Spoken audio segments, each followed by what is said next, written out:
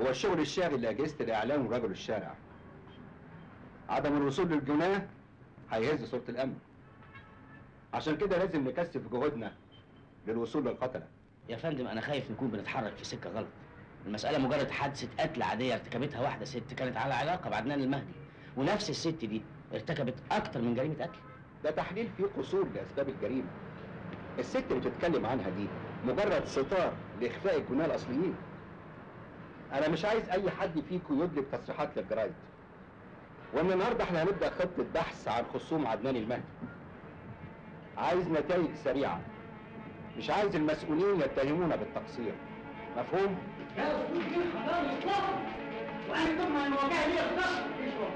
دي شوية لكن ده لا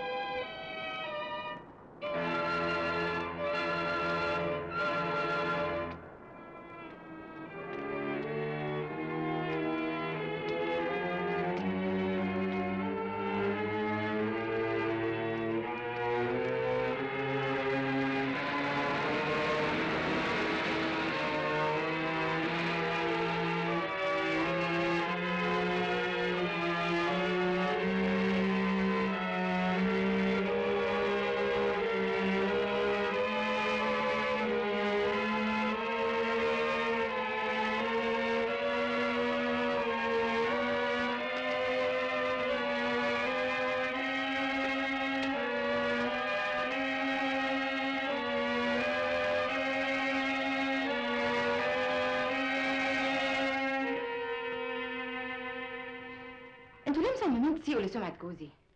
وتشوهوا تاريخه بقصص مختلقة.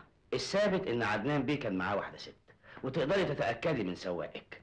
لكن السؤال المهم واللي ملوش إجابة. مين الست اللي كانت مع المرحوم؟ أرجوك أنا أعصابي تعبانة جدا من الموضوع ده. مش عايزة أتكلم فيه خالص.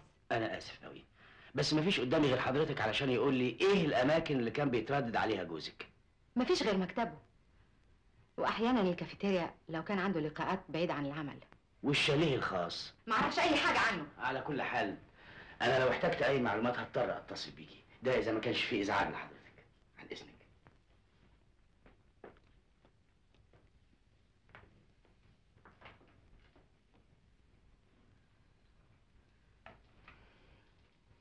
ألو؟